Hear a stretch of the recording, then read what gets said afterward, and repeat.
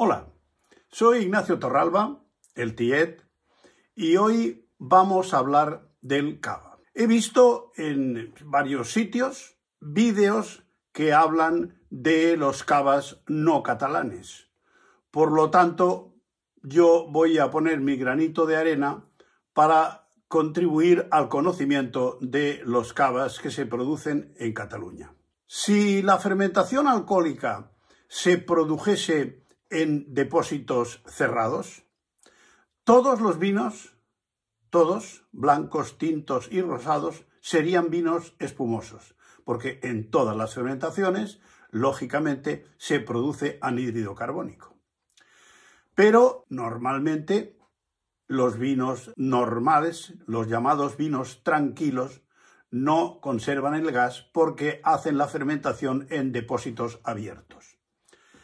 La fermentación alcohólica es un proceso anaerobio, o sea que no se produce en presencia de oxígeno, mejor dicho, se produce en ausencia de oxígeno. Precisamente los depósitos abiertos se ponen a salvo del oxígeno mediante la capa de anhídrido carbónico que se deposita encima del sombrero, encima del, mm, del mosto en fermentación, que como el anhídrido carbónico es más pesado que el aire, se mantiene una capa encima del mosto en fermentación, que eso evita que el oxígeno esté en contacto con la eh, propia fermentación. En cuanto llegan a la bodega las uvas, algunos granos son los primeros en romperse. En cuanto se rompen algunos granos de uva, ya sea por la presión o sea porque se ponen a prensar, entran en contacto las levaduras que vienen de la propia viña adheridas al exterior de la piel de la uva, entran en contacto esas levaduras con el mosto dulce. Las levaduras al verse en un medio tan rico en nutrientes dicen ya ha empezado la fiesta y entonces empiezan a comer, empiezan a alimentarse y empiezan a reproducirse de una manera incontrolada. Hasta que eh, las levaduras que empiezan siendo unos pocos miles de elementos, se convierten en una población de muchísimos millones de levaduras. Entonces, en cuanto se acaba el azúcar del mosto o queda muy poco azúcar en el mosto, la población de levaduras sucumbe y muere. Los cuerpos de esas levaduras son lo que eh, se llama en enología las lías. Cuando un vino se quiere mejorar, se le da una crianza sobre lías y esas lías enriquecen el vino. En eso se basa la llamada segunda fermentación para producir el cava. La producción del cava consiste en eh, coger un vino recién elaborado que ha de tener unas características determinadas de acidez, de buen estado sanitario de la uva, etcétera, tiene unos requerimientos mm, quizá más altos que el, resto de los, de los, vinos en cuanto al cuidado y el momento de maduración que, tienen, que tiene esa uva. Entonces, ese vino se introduce en una botella de cristal mm, resistente que pueda aguantar la presión del anhídrido carbónico, se le añade lo que se llama el tiraje, que es un licor a base de vino, levaduras y azúcar. Eso se introduce con una máquina, unas gotitas determinadas en cada botella, y esa botella se cierra y se deja en la bodega a que haga la llamada segunda fermentación.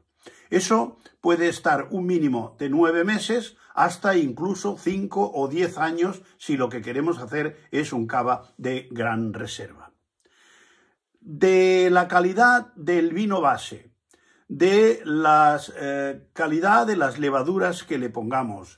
Depende en gran parte la calidad del producto final que vamos a tener de este cava. Cuando la segunda fermentación, lógicamente, también termina, porque las levaduras que le hemos introducido terminan con el azúcar que también le hemos introducido, ahí tenemos un vino que tiene su anhídrido carbónico y que ha subido en un grado o un grado y medio el eh, grado de alcohol que tenía el vino base que hemos introducido en la botella.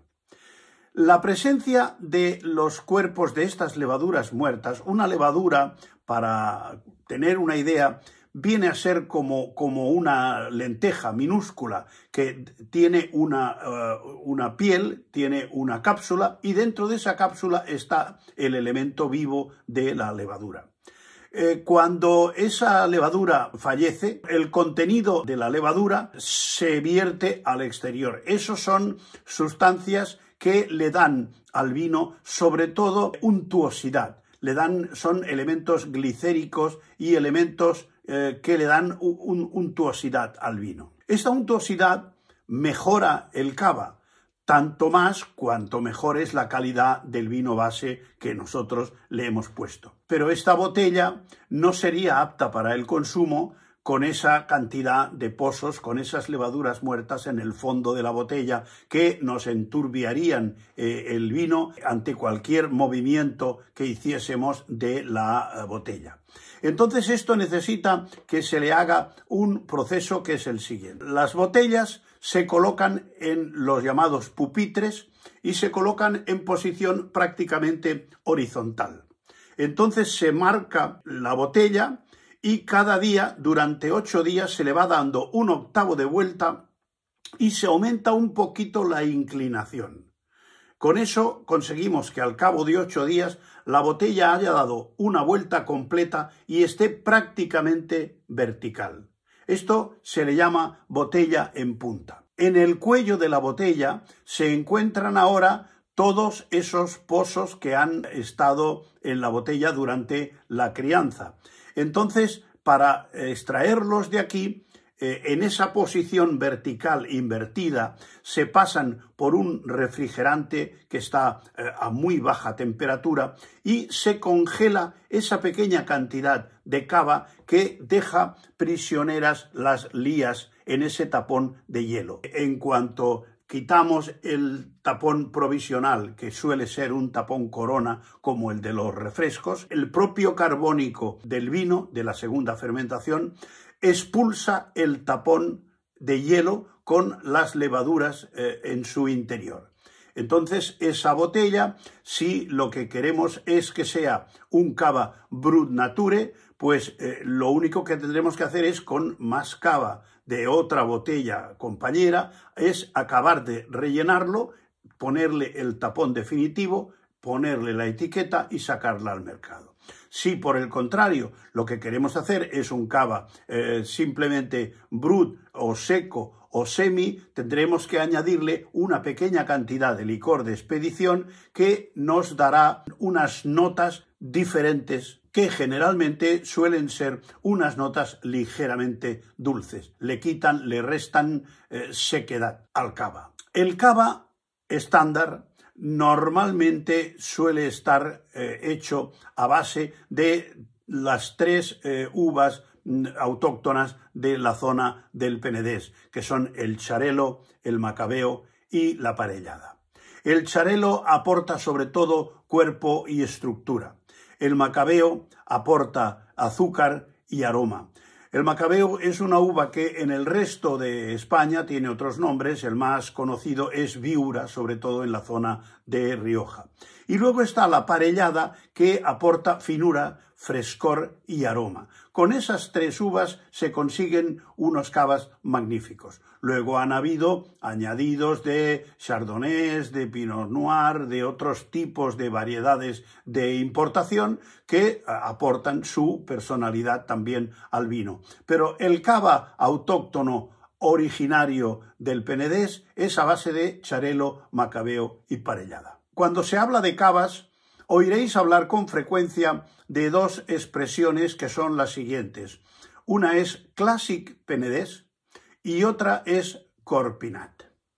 Estos son eh, sendos grupos de mm, cavistas y viticultores que molestos porque eh, hay una gran profusión de cavas elaborados muy a la ligera, con vinos base de escasa calidad, eh, y de procedencia no se sabe y con métodos poco ortodoxos, eh, se producen cavas de 2 y 3 euros la botella. Y están todos metidos dentro de la misma denominación.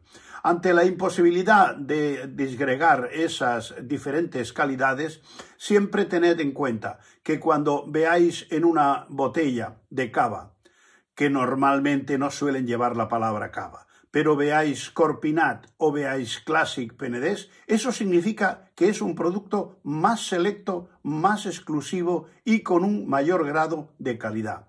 Se procura que las uvas sean de origen del penedés, se procura que la crianza sea la que tiene que ser, desde luego mayor que la del cava en general, el cava lo mínimo son nueve meses, en el caso del Classic Penedés son quince meses y en el caso del Corpinat son dieciocho meses. Hay, aparte de eso, toda una serie de exigencias que os tiene que llevar a la idea de que tanto Classic Penedés como Corpinat son vinos espumosos que cuidan especialmente la calidad de sus productos, tanto en cuanto a elaboración como a crianza. Los cavas con una mayor crianza se identifican fácilmente porque suelen tener el carbónico mucho más integrado. Un cava joven suele dar en la boca una sensación de explosión del carbónico. Esas burbujas las detectaremos en la propia copa porque son de mayor tamaño y suben en la copa con más velocidad. En cambio, si el cava ha tenido una larga crianza, ya sea reserva o sea gran reserva, veremos que la burbuja es más pequeñita y sube a menos velocidad. Por lo tanto, eh, se trata de un producto mucho más agradable de tomar que eh, un producto que el carbónico prácticamente nos explota en la boca como si estuviésemos tomando gaseosa. Durante la crianza después de la segunda fermentación se produce al cabo de un periodo largo, se habla de los 24 o los 30 meses, un proceso que se llama autólisis. Esa autólisis es la liberación por parte de las lías de una serie de sustancias que se identifican claramente en la cata y que son un sinónimo de calidad del producto final. El principio de los vinos espumosos en la zona de la Champaña por parte de Don Periñón no fue otra cosa más que una eh, casualidad, como la mayoría de los descubrimientos. El vino elaborado para la abadía se elaboraba en la bodega a nivel del suelo. Cuando ese vino se embotellaba y se bajaba a una cava subterránea para darle su crianza, la fermentación que a nivel del suelo se había interrumpido por el frío del ambiente, resulta que aún no había terminado y al entrar en una temperatura más estable y menos fría que la de la superficie del, suelo, esa eh, pequeña cantidad de azúcares y las levaduras que todavía estaban vivas hacían una segunda fermentación que es lo que hacía explotar las botellas y este fue el quebradero de cabeza de don Periñón, hasta que encontró el corcho del Ampurdán y lo ataba con una cuerdecita para que el corcho no saltara.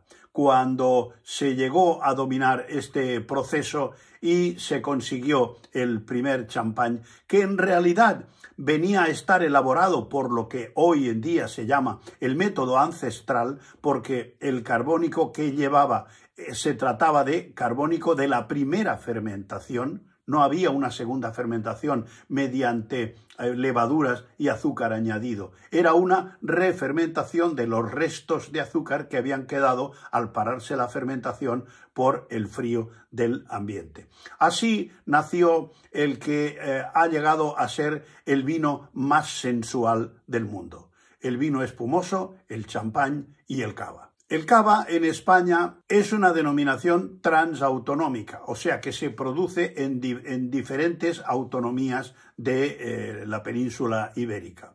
Eh, además del, cava del Penedés, se produce cava acogido a la denominación de origen Rioja, a la denominación de origen Rías Baixas y a la denominación de origen Penedés, que es donde está adscrito el eh, Classic Penedés, que es una denominación dependiente de la denominación de origen penedés. El Classic penedés se creó en el año 2014 y el Corpinat en el 2017. Se producen cavas en la zona de Valencia, en Requena, en Extremadura, en la población de Almendralejo, y eh, la bodega Artadi produce un vino espumoso que le llaman Izar Lecu a base de las uvas con las que se produce el chacolí, el Ondarribi Suri. En Italia también se produce vino espumoso. Básicamente hay el Prosecco, que es por el sistema de Gran Bas o llamado en Italia Martinotti, que es que la segunda fermentación, en vez de producirse en la botella, se hace en unos tanques cerrados y luego el vino se embotella. También hay el Franciacorta, que se elabora por el método tradicional, en el que hay pues incluso algunos productos con nombres realmente que nos resultan a nosotros eh, un poco chocantes. Se elaboran también algunos espumosos por el método ancestral. Yo he probado uno que se produce en Andalucía y la bodega Ate Roca tiene un producto que es mm, vale la pena de probarlo porque es un producto muy bien elaborado que se llama Camí dels Chops con X, Camino de los Chopos. Al hablar de los mejores cavas no podemos evitar hablar de diferentes niveles de precios no se pueden mezclar churras con merinas. Hay productos que por su nivel de precio tienen lógicamente un nivel de calidad diferente. Por lo tanto, después de estudiar un poco el tema, hay un grupo de cavas que son los de más de 40 euros. Dentro de este grupo de más de 40 euros, yo eh, tengo 10 ah, productos que os quiero recomendar porque los conozco y los he probado. Uno de ellos es Finca Els Gorgs, del 2013, producido por AT Roca y cuesta unos 50 euros. El Cripta de Agustí Torelló, a base de charelo macabeo y parellada, que cuesta unos 55 euros. Recaredo, reserva particular, a base de charelo y macabeo, cuyo precio es unos 60 euros. La capella de Jouvet y Camps, que es Charelo 100%, que cuesta aproximadamente unos 85 euros. Leopard ex Vite, que es lo que se llama un cava de paracha, sería lo que los franceses llaman un cru o un premier cru. Es un cava de una zona, de una viña determinada que tiene unos niveles de calidad superior. A esto se le llama cava de paraje o de paracha en catalán. Este Leopard ex Vite cuesta unos 43 euros. A continuación tenemos el Celler Valle de Gramona. Gramona es del grupo Corpinat. Este Celler Valle de Gramona, grandísimo cava, eh, cuesta entre 60 y 200 euros dependiendo de la añada. Después está el cava La Siberia de Camps, cuyo nombre viene del nombre de la parcela donde se vendimia la uva, que le llaman la Siberia porque por lo visto es extremadamente fría. Cuesta unos 105 euros. A continuación está el 456 de Codornío, que es a base de charelo, pinot noir y chardonnay, con 80 meses de crianza y cuesta 175 euros. Los números 4, 5, 6 se refieren a los 456 vendimias que, según Codorniu, son las que ha hecho la empresa. Estamos hablando de 456 años. Después está el cava de Manel Reventós, enoteca personal, que cuesta de 225 a 500 euros, y el Turodan Mota de Recaredo a base de charelo 100%, que cuesta entre 100 y 200 euros. Tiene 10 años de crianza sobre lías. Este es el grupo de los cavas de alta gama y de alto precio. Después hay un grupo cuyo precio oscila entre los 20 y los 40 euros. En este grupo podemos encontrar los siguientes 10 productos. El cava Esparter que es un Classic Penedès de Aterroca, que cuesta unos 22 euros, una magnífica relación calidad-precio, es un producto muy recomendable. Es el Castell San Antoni, gran barrica, a base de charelo macabeo, parellada y chardonnay, con una crianza de 36 meses y un precio de 25 euros. El Gran Torelló Brut Nature a 28 euros el Recaredo Brut Nature a 24 euros. El tres lustros de Gramona a 30 euros. Gramona es uno de los mejores elaboradores de cava y tiene eh, un producto en cada uno de estos tres grupos que estamos nombrando. Y eh, cada uno de estos tres productos es de primerísima calidad, tanto el imperial como el tres lustros como el Masía Valle. A continuación está el Nadal Brut Salvacha, 22 euros. Rovellats Gran Reserva, Masía siglo XV, que cuesta 30 euros. Un cava relativamente nuevo que se llama Bomboneta, por el, me imagino que por el eh, diseño de la ampolla, que es a base de charelo, macabeo, parellada, chardonnay y pinot noir, que cuesta 23 euros y el Jaume Giró Premium Brut a 24 euros. Y la grandísima relación calidad-precio está en los cavas de entre 10 y 20 euros. En, este rango de precios encontramos el Ate Roca Reserva, que es un Classic Penedés a 17 euros, Robellats Gran Reserva Colección Extra Brut a 15 euros, Parchet Brut Nature a 14 euros, Imperial Gramona, que es del grupo Corpinat, como sabéis, 19 euros, Jubei Camps Reserva de la Familia, 19 euros, Gran Caus de Can Raffles a 13 euros, el Sumarroca Gran Reserva Brut Nature a 14 euros, el Leopard Brut Nature a 13 euros y el Albet Inoya Brut Nature también a 13 euros. Hay una serie de cavas que pueden encontrarse a precios de mercado por debajo de los 10 euros.